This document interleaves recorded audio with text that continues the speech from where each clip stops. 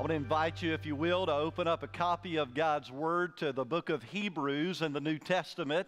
And we're looking at Hebrews chapter 13. And we're finding out together is so important. It is the calling of the Holy Spirit uh, through the writing of His Word, community, because life is not meant to be lived alone. It is so important that we experience togetherness. And we find this through the 14 times the Holy Spirit with these words says, Let us, uh, let us hold fast our confession of faith. Uh, let us approach the throne of grace boldly. Uh, let us go on to maturity. Uh, let us be thankful. let us not forsake the gathering of God's people as the manner of some is, but let us encourage one another so much more as we see the day approaching. This is the calling of the Holy Spirit. And this morning, as you open your Bibles, notice in chapter 13, verse 13, that we're encouraged to let us go out to Jesus outside of the camp bearing his disgrace. So, as we look at this text this morning, let's get the context. We'll begin reading at verse number eight. And I'm going to invite you, as we do as a faith family, we stand to honor the reading of God's wonderful, life changing, inerrant, infallible word that enriches our life. Can I get a witness this morning? Amen. It is so good to stand for something worth standing for. Hebrews chapter 13, beginning at verse number 8. Church family, read aloud with me the Word of God. Jesus Christ is the same yesterday, today, and forever. Do not be led astray by various kinds of strange teachings, for it is good for the heart to be established by grace and not by food regulations, since those who observe them have not benefited. We have an altar from which those who worship at the tabernacle do not have the right to eat. For the bodies of those animals whose blood is brought into the most holy place by the high priest as a sin offering are burned outside the camp. Therefore, Jesus also suffered outside the gate so that he might sanctify people by his own blood. Let us then go to him outside the camp, bearing his disgrace. For we do not have an enduring city here, instead, we seek the one to come. And Father, we say yes and amen to the Word of God. And we pray, Lord, one simple prayer and that is, Spirit of the living God, would you speak to every heart here? Would you allow us to hear you in a very clear way through the power of the Word of God? For we ask and we pray and we speak in Jesus' name. And all of God's people said, Amen. Amen. You may be seated. Thank you so much for standing. As we think about what we have experienced the last week, uh, we can say that we have gone through turbulent times. Can I hear a witness this morning?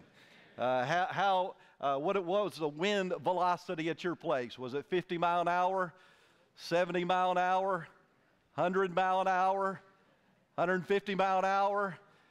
Uh, what, what we have found is that this wind turbulence has revealed several things. It has revealed the strength, the stability. It, it also reveals security uh, that is about the, the structure that we're in and even in our very lives. Well, this whole world is shaking, is it not? It's not a one, one day hurricane, but this whole world is experiencing a hurricane.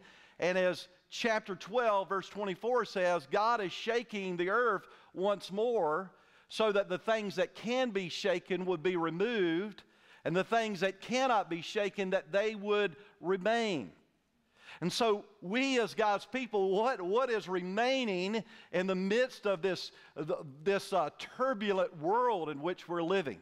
Well, you'll notice several things I'll just point out in, in this text. Verse number eight Jesus Christ is unshakable.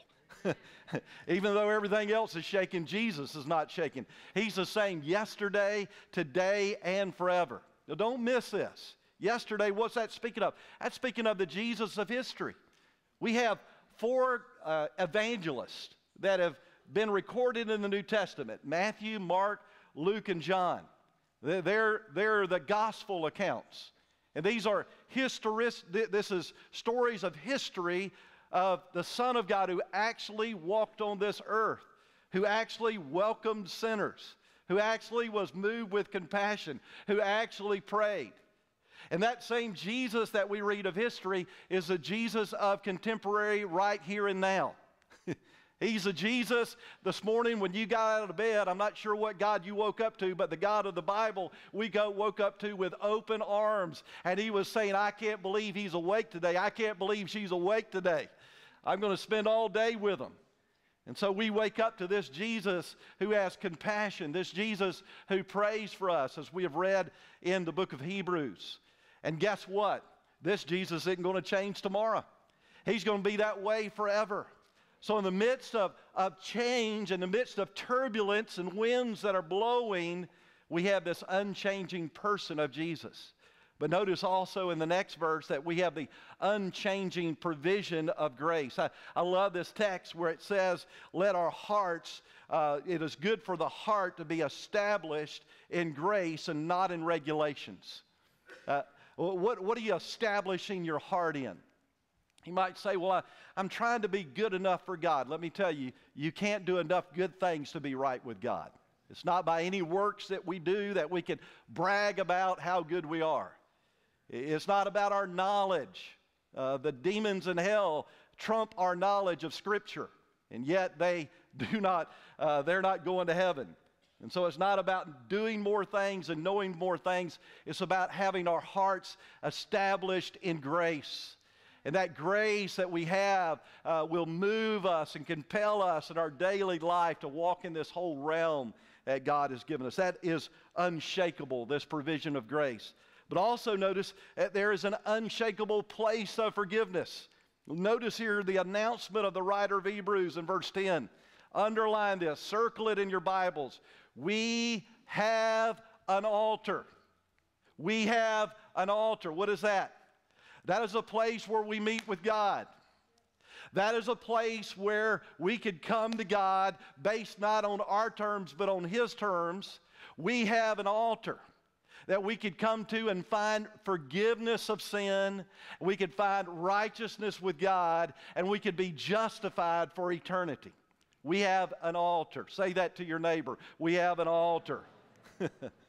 now, if you're in first century BC and you read this, this was just a few months before the temple in Jerusalem would be destroyed by Titus, the Roman general, in AD 70. Jerusalem was razed. In other words, it was brought down to rubble, and that included the temple. And so the Jews were saying that the, the altar that was in the Holy of Holies has now been destroyed. We are hopeless. And the writer of Hebrews says, There is hope because we have an altar. And that altar is what we proclaim of Jesus Christ. Now, what does it mean when we look in verse number 12 that Jesus also suffered outside the gate for us? What, is, what does that mean? That he might sanctify the people by his blood.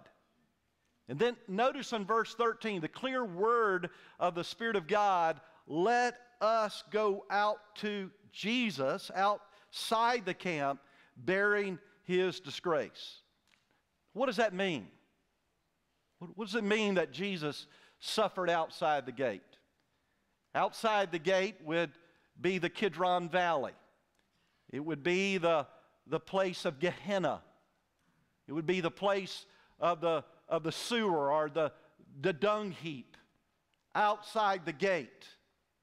Outside the gate along the, the mount there where the Temple Mount was at, outside that gate, the Lion's Gate, there is a hill that they would execute criminals on. It was known in the, in the Hebrew and the Greek and the Latin Golgotha, Skull's Hill. Well, what does it mean that Jesus suffered there? We'll go a lot more deeper in the text as this message goes along, but it was a place of utter humiliation.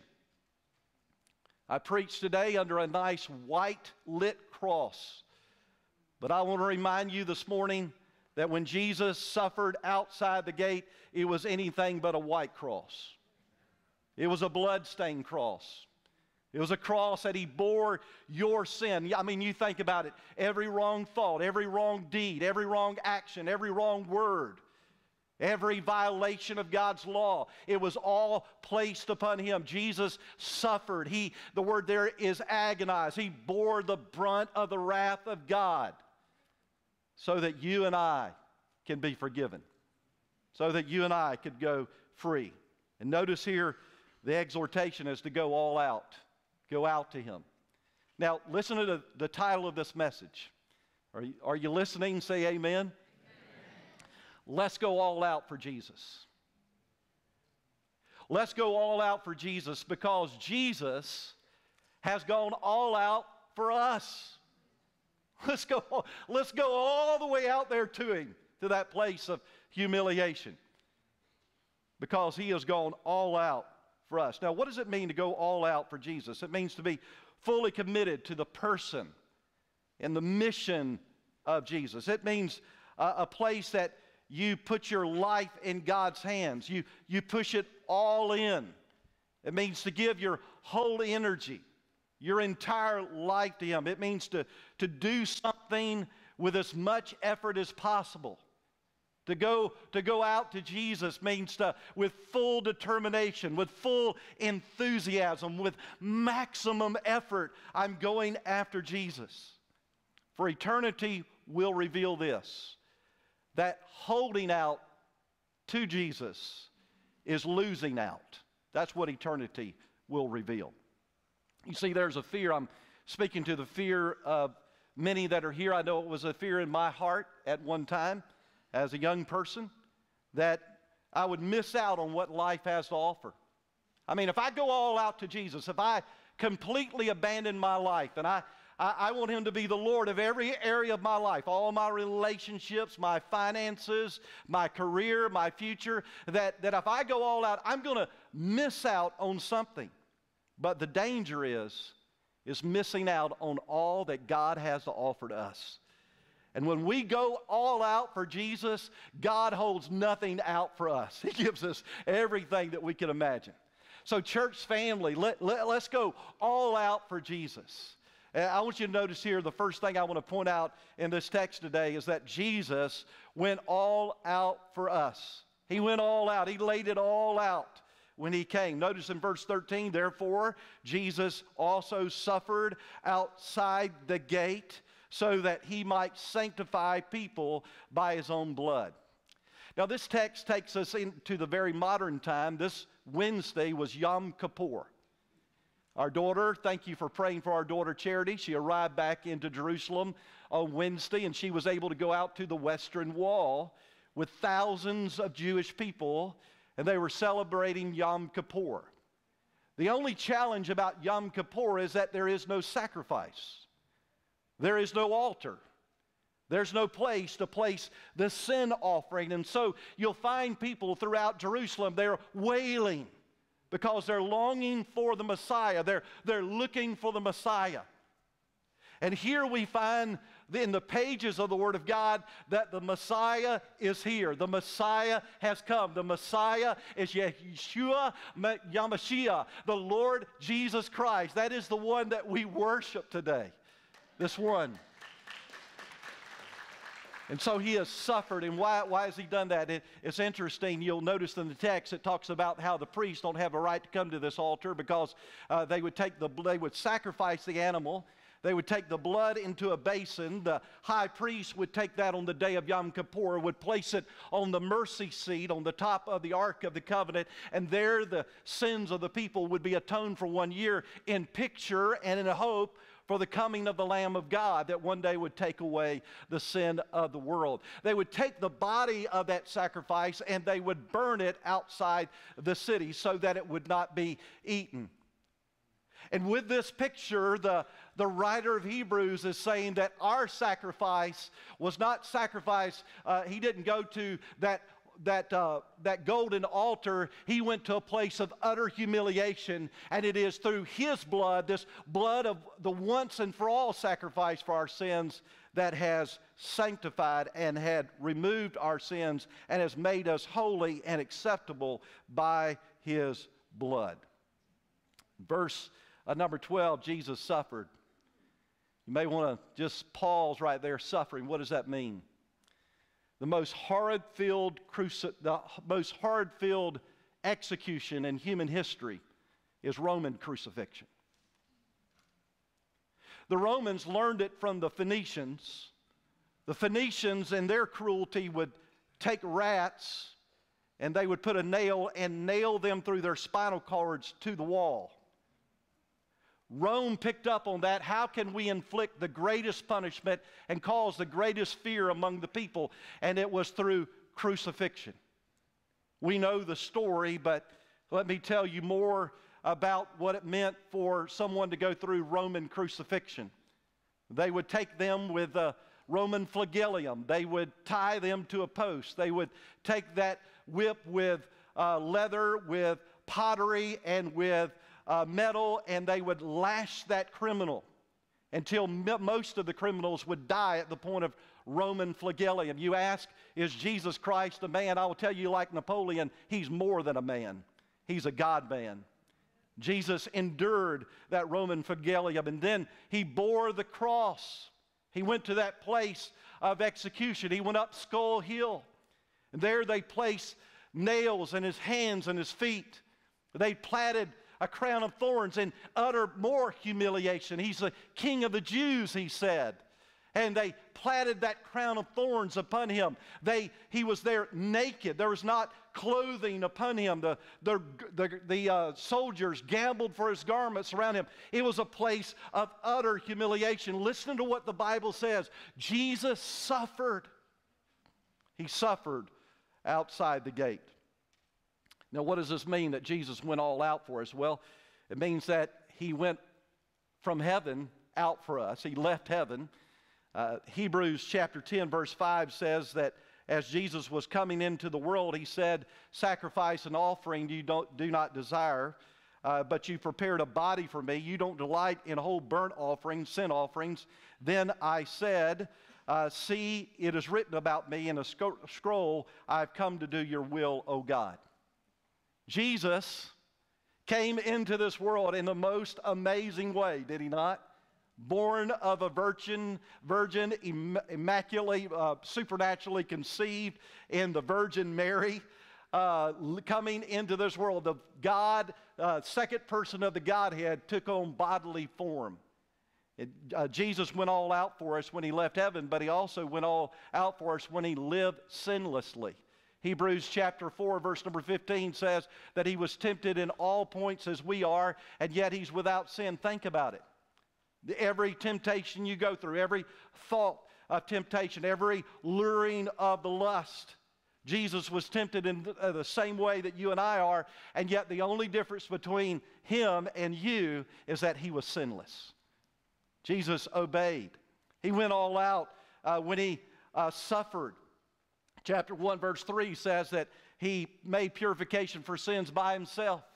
Chapter 2, verse number 18 says that he himself has suffered when he was tempted. Jesus suffered, but then he died. Chapter 2, verse number 14 says that through his death, he destroyed the one having the power of death. The Bible says in Hebrews chapter 9, verse 28, that he died once and for all to make an atonement for sin. Jesus died, but then he rose again from the dead. Chapter 7, uh, verse 16 says that he has the power of an indestructible life. Chapter 13, verse 20 says that God brought up from the dead our Lord Jesus Christ, that great shepherd of the sheep. But not only did Jesus come, not only did he live sinlessly, he went all out for us, not only did he go all out on the death on his cross, uh, but Jesus went all out not only when he rose from the dead, but when he ascended back up into heaven. Chapter 9, verse number 24 says that he now appears in the presence of God for us. So Jesus now, right now, has ascended back up into heaven, and he is there in the presence of God on our behalf. He is our mediator, our bridge builder. And then notice in chapter 9, verse 28, Jesus promises to come again. Christ will appear for the second time uh, to bring salvation to those that are waiting for him. Think about it. Jesus went all out. He went all out for you and for me, leaving heaven, coming to this earth. He went all out when he laid his life down on the cross. He went all out when he got up from the grave on the third day. He went all out when he ascended back up into heaven, and he's coming all out when he comes again. And let me ask you a question What does that do to your heart? What does that do to your heart? Let me give you a, a story. You, you know about this story back in 2018, 12 young soccer boys with their coach in northern Thailand went cave searching. What they did not realize is that there would be an early monsoon, and those boys were, were caught in that cave helplessly for 18 days. It was against all hope. The, the Navy, the Thai Navy SEALs, the U.S. Uh, Air Force, there were over a hundred divers. There were over a thousand rescue workers that were working tirelessly around the clock. You remember that. I remember every day getting news reports about these uh, 12 Thai soccer players. About that they finally found them, that there was life in this cave. And what you see up on the screen right now is a National Geographic movie called The Rescue. That doc, it's a documentary of all that went through. I, I was on the edge of my seat as I was uh, viewing this documentary. And those boys, after 18 days, they, there was an, we call this the extraordinary rescue of our time. It is written in our minds and our culture today. This is an extraordinary rescue.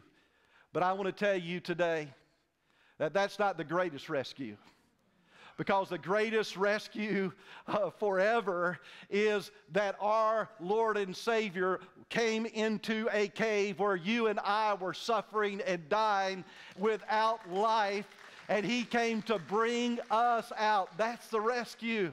It's the rescue that you and I have. Let me ask you does that bring joy to your heart this morning? That bring gratitude to your heart? You see, uh, the reason why we're to go all out for Jesus is because Jesus went all out for us.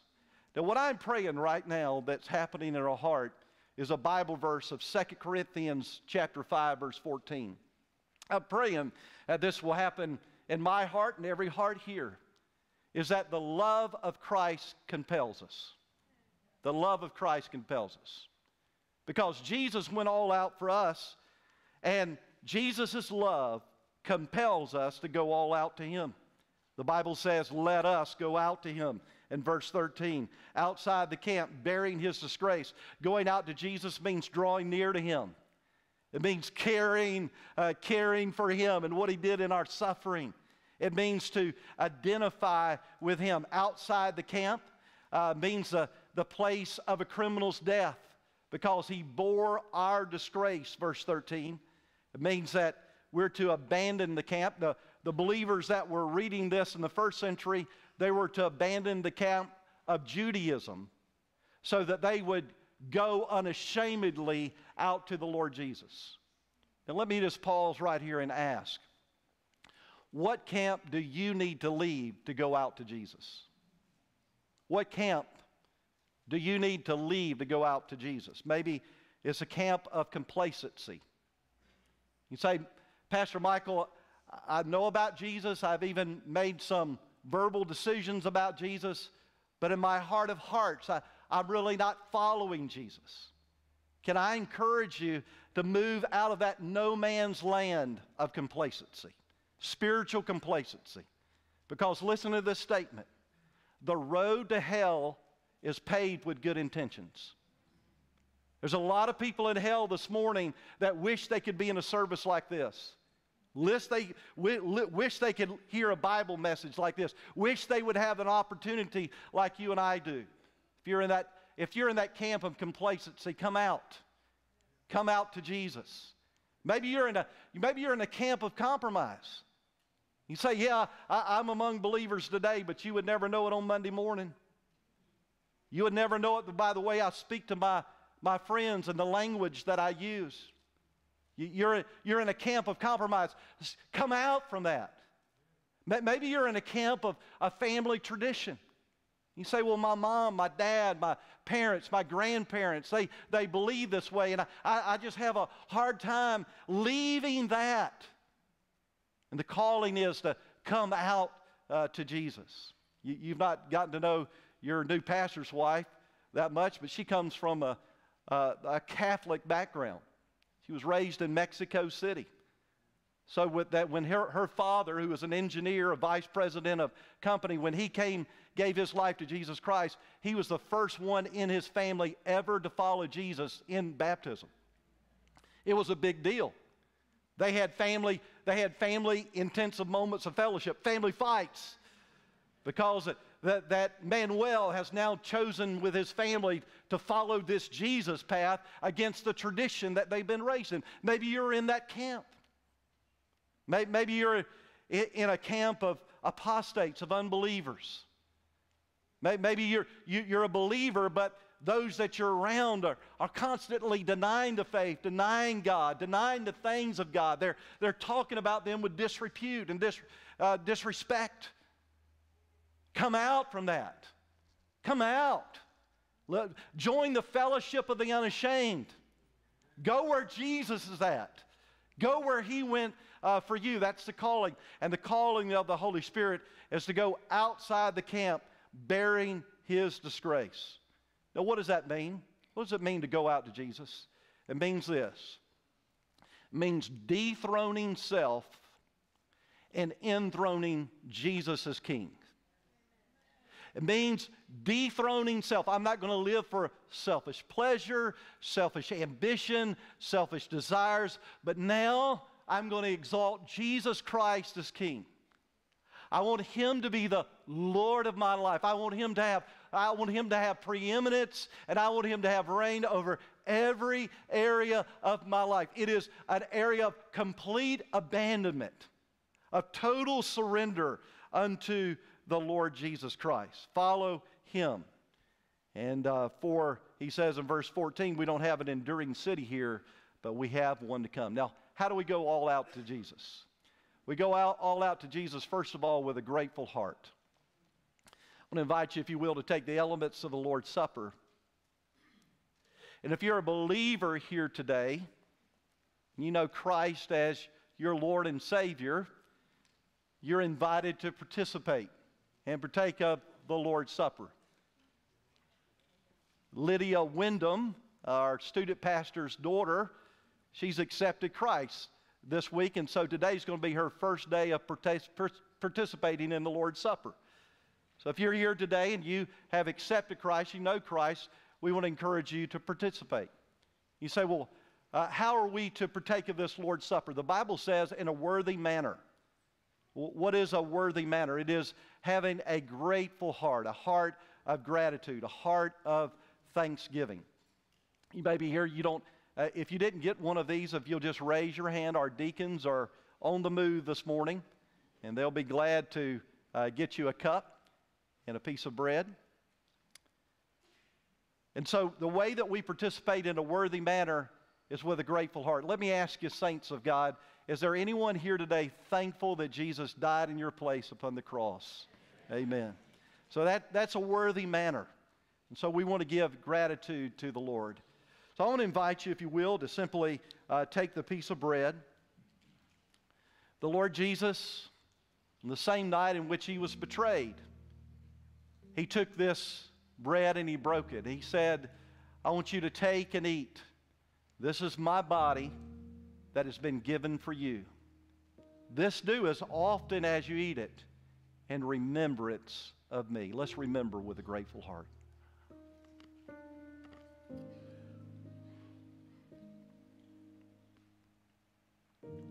Thank you, Lord Jesus. Thank you for your body that was bruised and battered, beaten on our behalf. We love you, Jesus. On that same night, our Lord also took the cup He said that this cup is the new covenant, the New Testament that's in my blood. Do this as often as you drink it. Do it in remembrance of me. Let's remember him. Lord Jesus, thank you. Thank you for your sacrifice. Lord, you went all out for us. Today, God, we're going all out with you and for you with a grateful heart. We praise you in Jesus' name. And all of God's people said, Amen. Let me tell you, there's another way that we could go all out for Him, and that is in surrender. In surrender. Another way that you go all out with Him, bearing His disgrace, is by identifying with Him in baptism. Now you say, now, Pastor, why, why should I be baptized? Why should I be baptized? First of all, it's a matter of obedience. Jesus said that Matthew chapter 28, verse uh, 19, that uh, disciples are to be baptized in the name of the Father, Son, the Holy Spirit. If you believed upon the Lord Jesus, the very next step is baptism. Now, let me speak to some of you here today that just like Jim Phipps today, you would say, I, I believed upon Jesus, but the question is, have you been baptized after you believed? It's what we call putting your baptism on the right side of the cross. Uh, for some of you, you were baptized younger, and then you came to a life changing, transforming faith in Jesus Christ, and since that time, you've not been baptized. You believe first, and then you're baptized. Can you say that with me? Believe first, and then you're baptized. Second reason why you should be baptized is to identify with Jesus. Wasn't it wonderful to see Heather and Jim go through those waters this morning? You know what they did? They were identifying with Jesus. You see, when you're gently lowered underneath the water, it pictures Jesus' death and burial. When you're brought back out of the water, it pictures his resurrection. So it's identity with him. And every day uh, you get to walk in that newness, walk in your identity. The third reason why you're to do it is to have a clear conscience.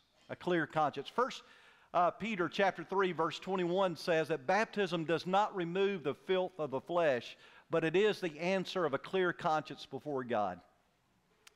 I had the privilege uh, many years ago of pastoring my home church in Richmond Hill, Georgia, just outside of Savannah.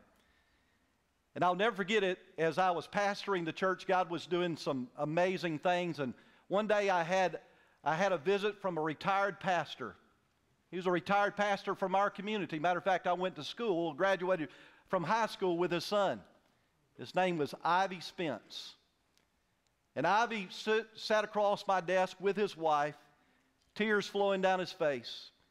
He said, Pastor, he said, I have baptized hundreds of people in my 50 years of ministry. But he says, I've never been baptized myself. And I had the privilege of baptizing Ivy and his wife Anna. They're now in heaven today. But he said this He said, All of my troubled heart that I had for so many years as a pastor, he said, I now have a clear conscience that I've done what the Lord's asked me to do. Can I speak to some of you right now? Some of you are hindered in your walk with the Lord because you've not done the first thing He's asked you to do after you believed upon Jesus. Let me encourage you to follow the Lord in believer's baptism. You might say, Well, I was baptized as a child. Well, if your recent commitment to Christ is a genuine life changing commitment, I would say put your baptism on the right side of your salvation believe first and then be baptized. But you say, no, Pastor, I, am a part of another tradition and I was, I was sprinkled or I was, uh, I was baptized as an infant. Uh, all those things. Let, let me encourage you that your parents, when they were doing that, they were praying that one day you would have a life relationship with Jesus Christ. And now that you have that, follow him. Now you say, now, Pastor, uh, can you explain do we have to go under the water uh, or can't we just do a little bit of sprinkling over them? Let me encourage you, let me just encourage you, just read your Bible. Because every baptism in the Bible, the Bible says they came up from the water. The word baptizo means the submersion of a ship or the dyeing of a cloth uh, with an ink. It speaks about total immersion. And why does it do that? It's because Jesus went all the way under in death and he came all the way out in resurrection. And it pictures that. Romans chapter 6 talks about that. And so let me in, encourage you to do that. I was counseling with a family a number of years ago a mom, a dad, teenage son, teenage daughter. They all committed their life to Jesus Christ. Oh, it, it, it was a happy celebration in that living room. And uh, then I began to share with them about baptism, and the husband said, Yes, sir, you could do it. Matter of fact, I'll never forget the day that we baptized them, the heater in the baptismal pool was broken, and it was 30 degrees outside. And, and I explained to him, and I said, Hey, we don't have to do this today. We could wait. He said, Pastor, I don't care if you have to knock ice off that water. We're going to get baptized today. And I'll never forget talking with a husband, a wife, yes, I want to be baptized, teenage son, yes. And then I looked over at the, uh, the young daughter, and she said, No, I, I don't want to be baptized. And I said, Well, why not? She said, Because I don't want to get my hair messed up. And then I just explained to her about how Jesus' hair was messed up for us, about how he wore that crown of thorns and his head was matted together with blood. And that young girl said, Yes, I will gladly, I will gladly follow Jesus. Let me encourage you to go all out to Jesus today all out for Him. You may be here this morning and you have never opened your heart and life to Jesus, never by faith stood before a group like this and said, Jesus Christ is my Lord and Savior. The Bible says that when you confess with your mouth the Lord Jesus and believe in your heart that God raised Him from the dead, that you shall be saved. If you're here today, you say, Pastor, that's what I want to do.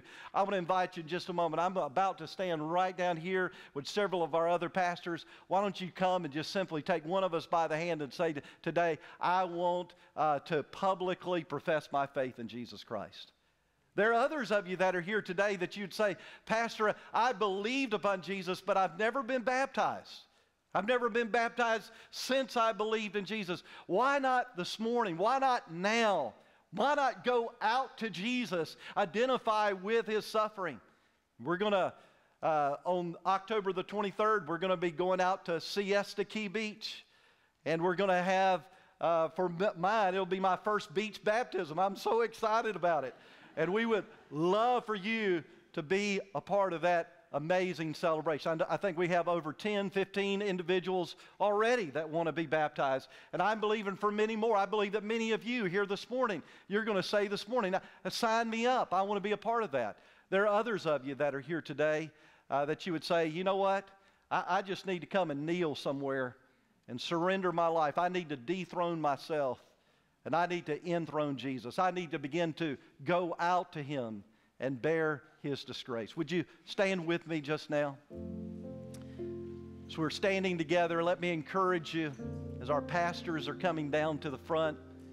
Let me encourage you if the Holy Spirit is moving your heart right now, that you would just simply step out, maybe ask one of our pastors to pray for you, make some type of spiritual decision. The altar is open right now. And if the Holy Spirit is speaking to your heart, I would invite you to make that decision for the Lord Jesus. We're going to sing a chorus. As we sing this chorus, I'm going to invite you to respond to the call of the Lord. Father, bless this time of response, for we give it in Jesus' name. Amen.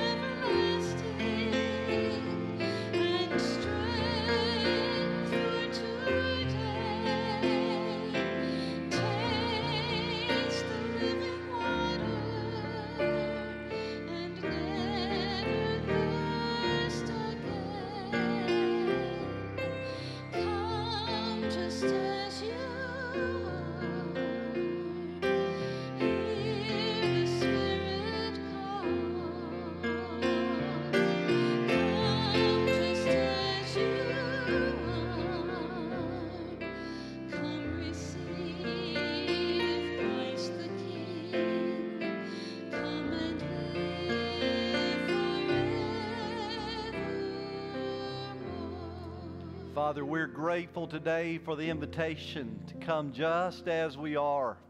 Thank you, Lord, that you don't want us to clean ourselves up and then come. Lord, you desire to, for us to come with all of our brokenness and to experience your cleansing power. Father, thank you for each one that's here today. I pray that as we go to our connect groups, that your Holy Spirit would continue to allow us to bear witness to Jesus, of going all out for Jesus.